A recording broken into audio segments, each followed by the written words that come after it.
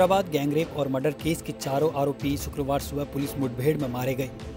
बताया जा रहा है कि पुलिस चारों आरोपियों को लेकर सीन रिक्रिएट करने घटनास्थल ले गई थी, जहाँ उन्होंने भागने की कोशिश की। इसके बाद पुलिस ने मुठभेड़ में चारों आरोपियों को मार गिराया। इन चारों आरोपियों ने 27 और 28 नवंबर के दरमियान रात को पशु चिकित्सक के साथ गैंगरेप की वारदात को अंजाम दिया था। बता दें कि हैवानियत भरे इस कांड के बाद से देश भर में उबाल था और चारों को फांसी दिए जाने की मांग उठ रही थी।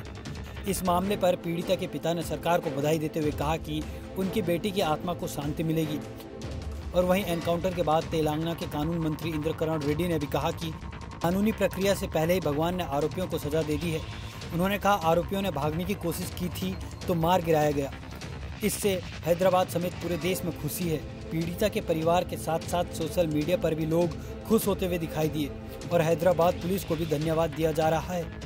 आपको बता दें कि यह घटना 27 नवंबर की रात की है। इस साल के जानवरों के डॉक्टर को इन दरिंदों ने अपनी हैवानियत का शिकार बनाया था।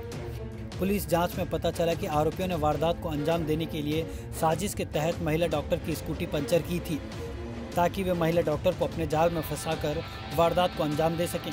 चारों आरोपियों ने डॉक्टर के साथ बारी बारी से दरिंदगी की और गला दबाकर हत्या कर दी। और यही नहीं, उन दरिंदों ने हत्या के बाद सबको ट्रक में रखकर टोल बूथ से करीब 25 किलोमीटर दूर एक ओवरब्रिज के नीचे फेंक दिया और फिर पेट्रोल, डीजल छिड़क कर आग के हवाले कर दिया। सुबह एक दूध बेचने वाले ने जले हुए सबको देखकर पुलिस को सूचना दी, जिसके बाद इस हैवानियत के बारे में पता चला।